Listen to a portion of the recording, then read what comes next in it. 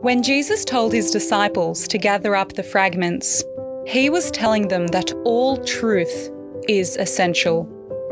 Why?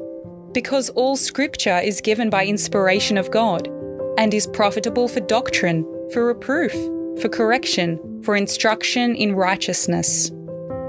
So, regardless of the topic, our question on this podcast will never be, is it salvational? But rather, is it the truth? I'm your host, Laura. And I'm your host, Bill. Each fortnight, we'll unravel a challenging yet heart changing theme from the Bible. We'll begin with the very first mention of the gospel, found in Genesis 3:15, God's earliest declaration of the plan of redemption. In following episodes, we'll discuss the Old and New Covenants, what it means to be truly converted, and what the Bible has to say about the future.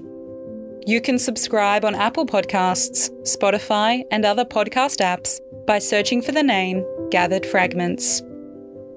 It's our desire that this podcast will be challenging at times, but we pray that you'll join us in our search for every fragment of truth, that nothing be lost.